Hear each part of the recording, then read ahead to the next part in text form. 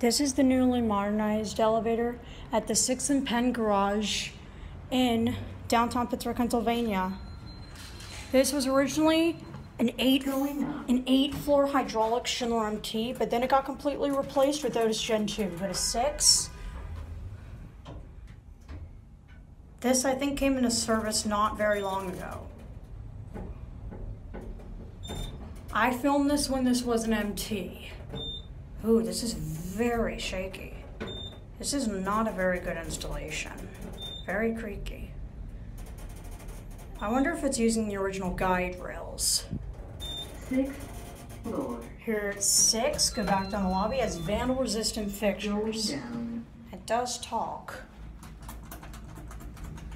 ADA phone. Basic stainless steel garage elevator, brand new. Completely replaced, I think. There's no signs of MT anywhere. I did film this when this was original. This is much better than it was before, even though it is not the best installation out there. Elevator 2, the Schindler 6400NA is elevator 1. Lobby.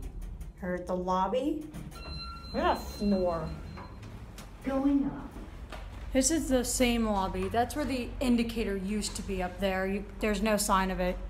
I mean, used to being there, it.